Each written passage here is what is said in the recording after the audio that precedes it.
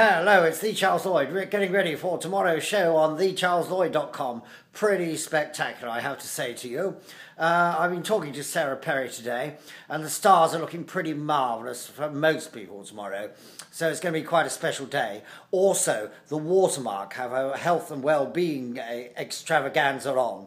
Uh, I have to go to Totnes tomorrow for a meeting, but I will definitely be popping in there. Uh, so on Thursday, ladies and gentlemen, we can look forward to all sorts of news.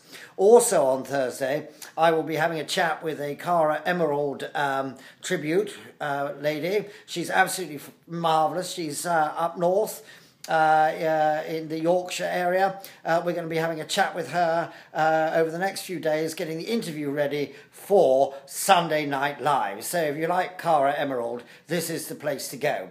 Uh, DJ Pabs has uh, got a, a boogie night going on at the Smithy on the 8th of November. We'll be talking about that, ladies and gentlemen. And we have Kevin, a DJ from Bournemouth, will be joining us overnight on Friday night. So, ladies and gentlemen, it's been a busy day at the charleslloyd.com. Uh, uh, I'll do some blogging below, do, do write a few things for you as well. But if you watch this video, you'll have caught up on all the information. Marvellous.